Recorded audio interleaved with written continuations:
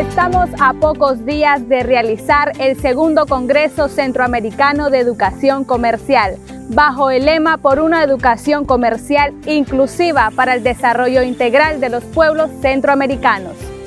Como NAN Managua abordaremos el Plan Nacional de Lucha contra la Pobreza y el Desarrollo Humano y los avances de la economía creativa en Nicaragua. Abordaremos desde el INATEC los aportes que esta institución ha hecho para el desarrollo económico y social del país a través de la capacitación y la innovación. Y nosotros invitamos a a toda la familia universitaria ligada a educación comercial a que esté atento a esta actividad que será para nosotros de mucho regocijo.